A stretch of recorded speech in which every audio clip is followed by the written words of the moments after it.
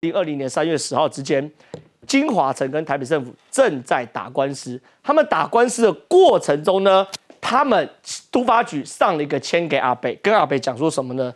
一，第三种商业区的土地使用强度容积率不可以超过百分之五百六十。二，他说的很清楚哦，本案哦已经在诉讼，如果给金华城容积率的话。会造成图利金华城的争议。阿贝签名表示他知道，所以阿贝这份公文曝光之后，他还能再说他不知道吗？你千万不能给金华城。你如果给金华城，会发生什么呢？会有本案图利金华城的争议。图利写在这边这么大，所以他的公文是建议什么呢？本府不同意跟金华城和解，打官司要打到底，对不对？阿北签了名啊，柯文哲同意打到底，速审速决嘛，对不对？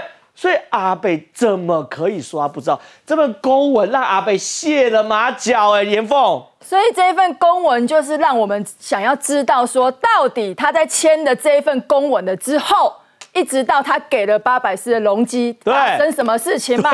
我给大家看这个时序。哎呦，来，这个大家可以看到。这是二零二零年三月十号的公文。好，我们现在在讲的就是这个关键的判决嘛，对不对？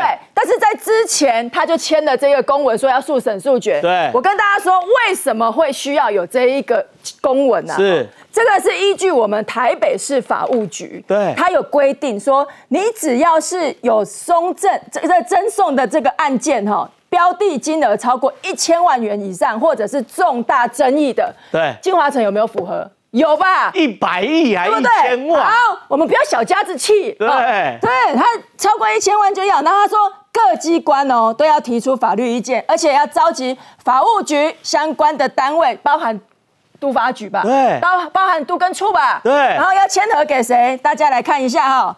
呈报给谁？市长核定。阿北不知道，所以他今天签的那个公文跟我们讲说他都不知道。哎，刚刚就像郑浩你讲的哈，这个公文他这个里面很明显的。这个就是都发局签给柯文哲的嘛？对啊，对啊，他就已经很明确签于台北市政府都发局啊。是他很明确的去告，在这个第三点里面就告诉他说，金华城案在一百零九年透过谁？易小薇。对。当会好，然后有找过彭振生跟黄局长。对。然后都讨论过要干嘛？要争取这个楼地板面积。按柯文哲，你在看公文的时候，你不知道说他是要争取容积率，他上面就写要要换算争取容积率为六七八点九一哦，六七八点九一，都发局都不给，后来给八百四啊倍，不知道。